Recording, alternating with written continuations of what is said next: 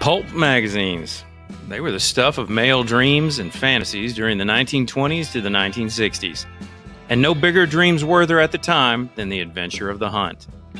Authors such as Ernest Hemingway, Peter Capstick, Zane Grey, and a host of other now famous outdoor figures contributed to the pulps during their heyday.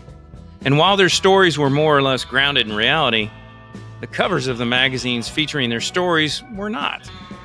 Here's a look at some of our favorite, albeit most exaggerated, hunting themed covers. The grizzly came to kill.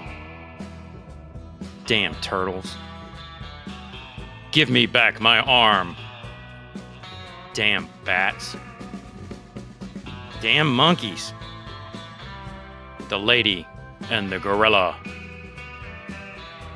Damn polar bear.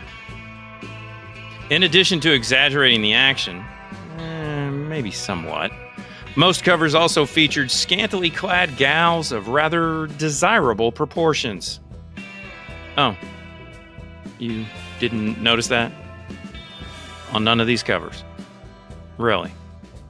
Huh. Readers did, which is yet another reason these magazines were just so popular. For these reasons, and a few others, we wish the pulps would come back. And soon. What about you?